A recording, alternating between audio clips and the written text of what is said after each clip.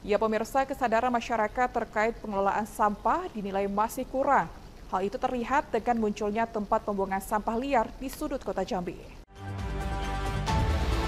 Persoalan sampah masih menjadi perhatian khusus bagi pemerintah kota Jambi. Pasalnya kesadaran masyarakat terkait pengelolaan sampah masih kurang, sehingga terjadi penumpukan.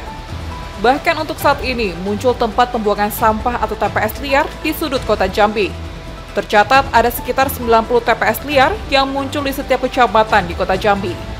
Hal tersebut menjadi tugas penting bagi pemerintah untuk mengedukasi masyarakat agar tidak membuang sampah sembarangan. Dinas Lingkungan Hidup Kota Jambi meminta kepada seluruh camat untuk berperan aktif dalam penanganan sampah, sehingga kebersihan Kota Jambi tetap terjaga dengan baik.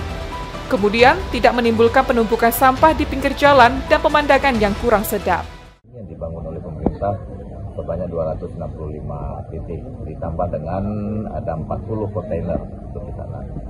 Kemudian kita juga melakukan pendataan terhadap tempat-tempat sampah ini ada tempat-tempat sampah liar yang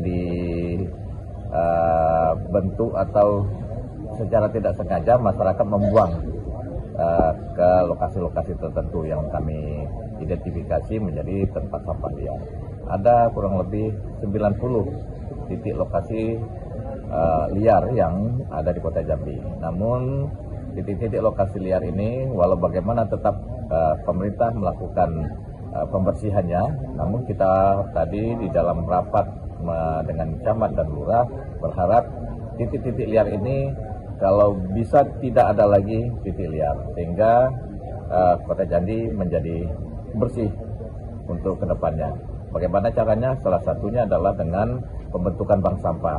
Jadi di setiap RT nanti akan dibangun bank sampah dan pengelolaan uh, sampahnya akan dikelola oleh masyarakat dan masyarakat akan mengambil sampah itu dari rumah yang sebelumnya sudah dilakukan pemilahan.